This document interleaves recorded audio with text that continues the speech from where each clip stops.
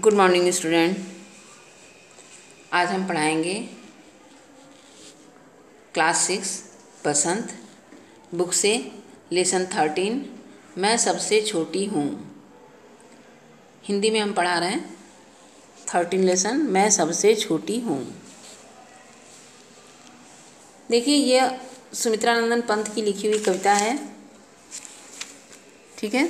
इन्होंने बहुत अच्छी अच्छी कविताओं को लिखा है। सुमित्रा नंदन पंत के बारे में हम थोड़ा सा बता देते हैं आपको। सुमित्रा नंदन पंत का जन्म उत्तरांचल के अल्मोड़ा ज़िले में हुआ था।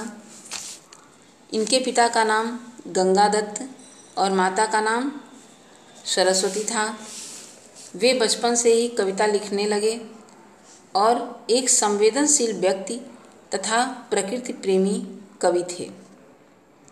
वे एक संवेदनशील व्यक्ति और प्रकृति प्रेमी थे।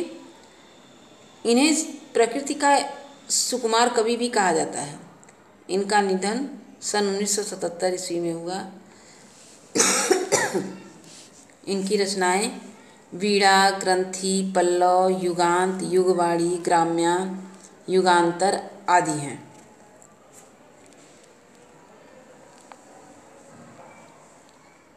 अब देखिए इसमें कविता के विषय में इन्होंने क्या कहा है? कविता के विषय में बच्चों का अपना बचपन इतना अधिक प्रिय होता है कि वह सुंदर ढंग से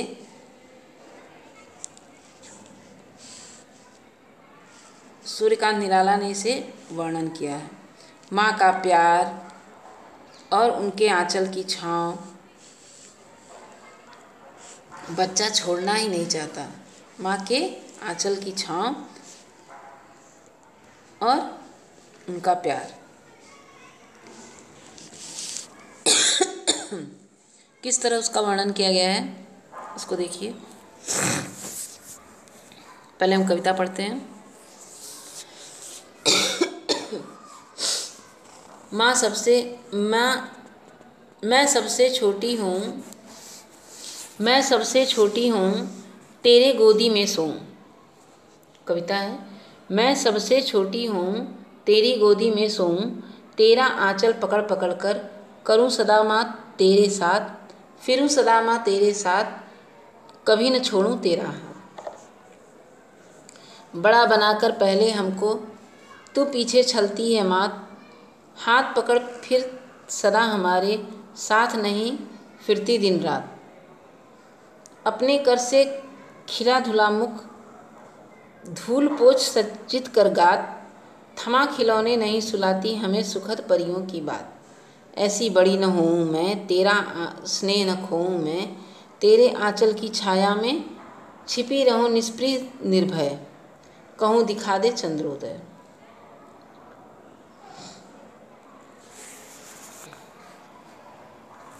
यह है सुमित्रानंदन पंत की कविता है। तो पहले हम संदर्भ पढ़ते हैं इसके, इसमें। प्रस्तुत पद्यांश हमारी पाठ्य पुस्तक बसंत के, मैं सबसे छोटू हूँ, छोटी हूँ नामक पाठ से लिया गया हूँ। इसके कवि सुमित्रानंदन पंत जी हैं। इसमें माँ के, बेटी माँ के प्यार और स्नेह के लिए हमेशा ललायत रहती है। बच्चे कैसे अपने माँ के आंचल को हमेशा याद करते रहते हैं और वह चाहते हैं कि मैं कभी बड़ी ही न हूँ। देखिए, शब्दार्थ है, अंचल मीन्स आंचल सदा मीन्स हमेशा, छलना मीन्स कपट करना, गात मीन्स गाना सदा मीन्स हमेशा कर मीन्स हाथ, सज्जित मीन्स सजा कर गात मीन्स शरीर, सुखद मीन्स सुख देने वाली।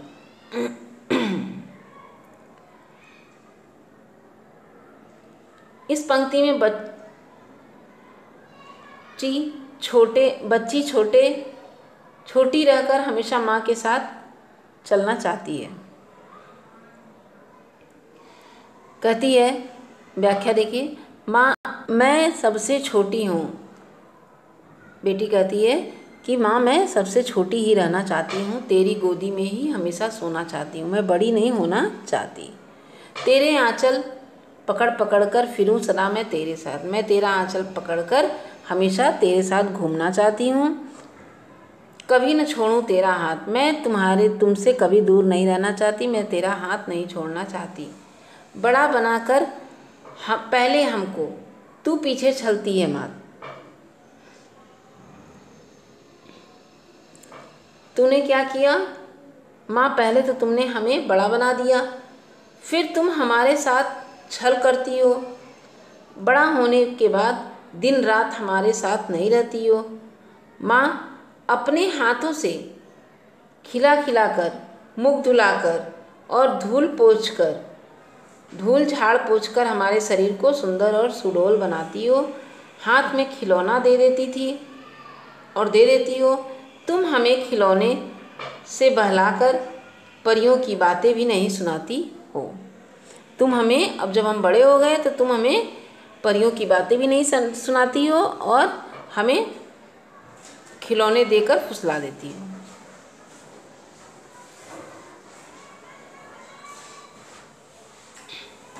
हस, ऐसी बड़ी न हूँ मैं, तेरा स्नेह न खो मैं।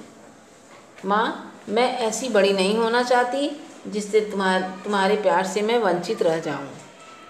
तेरे आंचल की छाया में छिपी रहूँ निष्प्रिय निर्भय। मैं तेरे आंचल में हमेशा रहना चाहती हूँ। तुम्हारे बिना मैं नहीं रहना चाहती। माँ, मुझे मुझे निकलता हुआ चाँद दिखा दो। हेमा, मुझे निकलता हुआ गोद में अपने लेकर और निकलता हुआ मुझे चाँद दिखा दो। हेमा, मुझे तुम अपनी गोद में लेकर मुझे निकलता हुआ चाँद दिखा दो।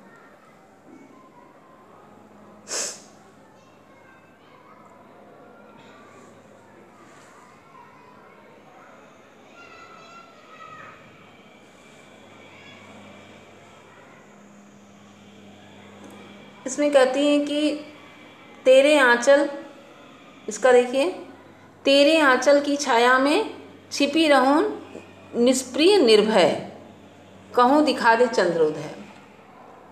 हे माँ, मैं छोटी रहकर तुम्हारे आंचल में बिना कुछ चाहे छिपी रहना चाहती हूँ और तुमसे बिना डर के कह सकूँ कि हे माँ, मुझे निकलता हुआ चंद्रोदय दिखा दीजिए या चाँद दिखा दीजिए।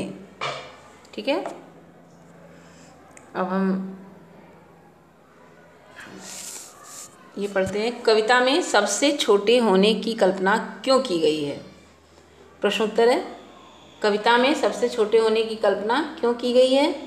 उत्तर, कविता में सबसे छोटे होने की कल्पना इसलिए की गई है ताकि बच्चे हमेशा माँ के साथ और माँ का प्यार उन्हें मिलता रहे। कविता में ऐसी बड़ी न हूँ मैं क्यों कहा गया है? क्या तुम भी ऐसे छोटे बने रहना चाहते हो? उत्तर कविता में बड़ी होने बड़ी ऐसी बड़ी न हूँ मैं इसलिए कहा गया है कि बड़ा होने पर माँ बच, बच्चे को खिला पिलाकर खिलौने देकर बहला लेती है। परियों की कहानी भी नहीं सुनाती। हम भी हमेशा छोटे रहना चाहते हैं क्योंकि माँ का प्यार पाना चाहते हैं। आशय स्पष्ट करिए, हाथ पकड़, फिर सदा हमारे साथ नहीं फिरती दिन रात। उत्तर है, आशय, देखिए। बच्ची माँ से कहती है कि, हे माँ, बड़ा होने पर तुम हमें नहला धुलाकर खिलौने देकर अपने साथ खिलाने के लिए छोड़ देती हो, अपने आप खेलने के लिए छोड़ देती हो। इस प्रकार तुम हर समय हमारे साथ नहीं रहती, साथ नहीं घूमती फिरती हो। चौथा है, अपने छुटपन में बच्चे अपनी माँ के करीब होते हुए भी इस कविता के नज़दीक की कौन सी स्थितियाँ बताई गई हैं? नज़दीकी की कौन सी स्थितियाँ बताई गई हैं? कौन कौन सी? इस कविता में बच्चे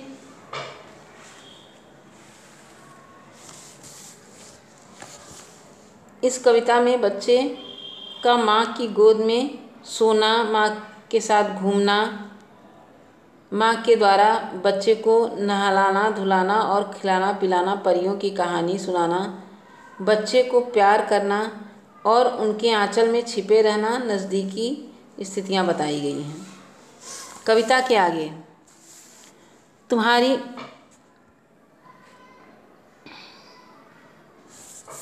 तुम्हारी माँ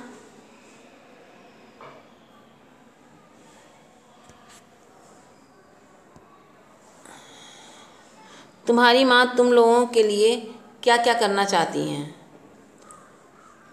उत्तर, कविता में सबसे पहले, हमारी माँ हमारे हर दुख सुख का ध्यान रखती हैं, वह हमें प्यार से सुलाती हैं और हमारे साथ घूमती फिरती हैं, वह हमें अपने हाथ से नहलाती, धुलाती और खाना खिलाती हैं। माँ हमें परियों की कहानी भी सुनाती हैं।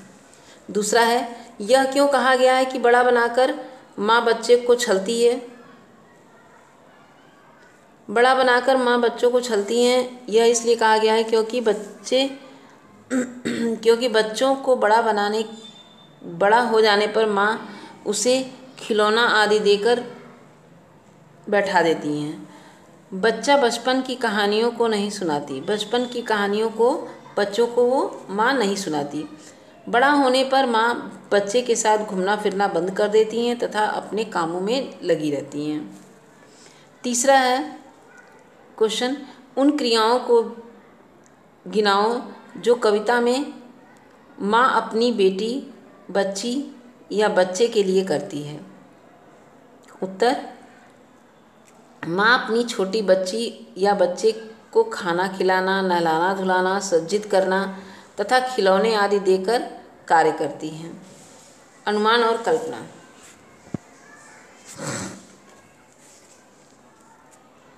इस कविता के अंत में कवि ने कवि माँ से चंद्रोदय दिखाने की बात क्यों कर रहा है? माँ के उदित होने चाँद के उदित होने की कल्पना करो और उनकी कच, उन्हें कक्षा में बताओ। कवि माँ से चंद्रोदय दिखाने की बात इसलिए करता है क्योंकि चंद्रोदय दृश्य बहुत ही सुंदर होता है।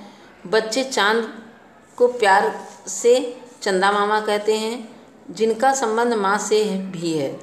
माँ स्नेह और स्पर्श से इन्हें बहलाने, बहाने बनाती हैं। स्नेह और स्पर्श से उनके लिए बहाने बनाती हैं। दूसरा है कविता में पढ़ने के बाद बच्ची, एक बच्ची और उनकी माँ। के, का चित्र तुम्हारे मन में उभरता है? बच्ची, और क्या कहानी कही होगी? क्या क्या कहानी होगी? कल्पना के विषय में कहानी बताओ। कल्पना करके कहानी बताओ। एक बच्ची सुबह सुबह सोकर उठती है और माँ से को आवाज़ लगाती है कि, माँ, मैं उठ गई हूँ। माँ, मुझे नाश्ता दो। माँ रसोई से निकाल कर आती हैं और बोलती हैं, कोई, पहले ब्रश करो, नहा धो लो। तब तक नाश्ता तैयार करती हूँ। मुँह हाथ धोकर वह नाश्ता करने के लिए आती है और स्कूल नहीं जाना है तुम्हें? ऐसा बोलती हैं। फिर उस दिन, माँ, आज मैं सारा दिन आपके साथ रहना चाहती हूँ। स्कूल नहीं जाना चाहती हूँ। स्कूल नहीं जाऊँगी। नहीं, स्कूल छुट्टी नहीं करनी है। तुम स्कूल जाओ। दोपहर को आना वापस, तब मैं तुम्हें खाना खिलाऊँगी। शाम को घूमने ले चलूँगी। बच्ची घूमने के लिए चली जाती है। बच्ची स्कूल चली जाती है और दोपहर में वापस आती है तो माँ से खाना खिलाती हैं और घंटों बातें करती हैं और प्यार से समझाती हैं। शाम को पार्क में ले जाती हैं और बच्चे को झूला झुलाती हैं। इस प्रकार कहानी भी सुनाती हैं और प्यार से उसे सुला देती हैं। तीसरा क्वेश्चन है, माँ अपना एक दिन उसके साथ कैसे गुजारती हैं? कुछ मौक़ों पर उसे दिनचर्या बदल जाया करती है। मेहमान के आने पर, बीमार पड़ जाने पर, त्यौहार के दिन, अवसरों पर, माँ को दिनचर्या पर क्या प्रभाव पड़ता है? फ़र्क पड़ता है। क्या फ़र्क पड़ता है? सोचो और लिखो। माँ अपना सारा दिन घर के कामों में घर की देखभाल करने में गुजारती हैं, कुछ खास मौके पर दिनचर्या में बदलाव आ जाते हैं। मेहमान के आने पर, किसी मेहमान के आने पर अलग बढ़िया खाना बनाती ही रहती हैं और प्रतिदिन कुछ कामों की देखभाल करनी पड़ती है। घर में किसी के बीमार पड़ जाने पर वह माँ बीमार की देखभाल ज़्यादा करती हैं। भली भांति उसकी दिनचर्या में कोई फ़र्क नहीं पड़ता है, वह डेली की तरह, रोज़ की तरह ही उन्हें दवा देना, उन्हें खाना खिलाना, रोगियों की सेवा भी बराबर करती हैं। त्यौहार के आने आने पर त्यौहार के दिन, त्यौहार के दिन नए नए पकवानों को बनाती हैं और घरों में साफ़ सफ़ाई भी करती हैं। इस दिन घर में आने जाने वालों का स्वागत भी करती हैं और भोजन का प्रबंध भी करती हैं। भाषा की बात देखिए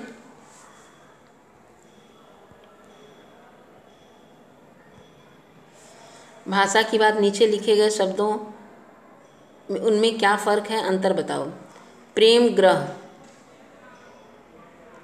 स्नेह। स्नेह मीन्स होता है प्रेम। शांति। सन्नाटा। भूल, राख, ग्रह, गृह। निधन, निर्धन, समान समान। अब देखिए उत्तर है स्नेह। बच्चे के प्रति प्रेम। प्रेम, किसी के प्रति प्रेम का स्वाभाविक प्रेम। वाक्यों में बदलना, छोटे से बच्चे को सभी छोटे बड़े प्यार करते हैं, स्नेह करते हैं। हम एक दूसरे से प्रेम की भावना चाहिए, प्रेम करना चाहिए। अब शांति में देखिए, मन की शांति, स्थिरता, अर्थ है स्थिरता। भगवान के भजन में हमें मन, के भजन से हमें शांति और मन में शांति मिलती सन्नाटा, निर्जन, निर्जनता। इस सड़क पर तो सन्नाटा ही छा गया। भूल धूल, सूखी मिट्टी। तेज हवा चलने से धूल उड़ने लगी। राख, जले हुए पदार्थ का अवशेष। भीषण आग से घर जलकर राख हो गया। ग्रह, नक्षत्र। सौर्यमंडल में नौ ग्रह हैं। गृह, घर। तुम्हें अपना घर का कार्य पूरा करना चाहिए।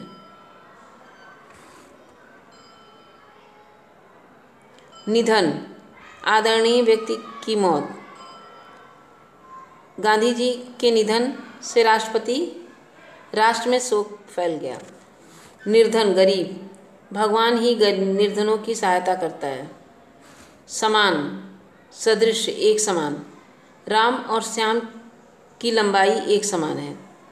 सामान, वस्तुएँ, मेज पर बहुत सा सामान रखा है। इस प्रकार हम पढ़ेंगे। कविता में युग्म जोड़े बनाना है। दिन रात जैसे, उसी तरह उत्तर में है, आना जाना, सुख दुख, हानि लाभ, अपने पराए। और इसे पूरा कर लीजिए। Thank you class.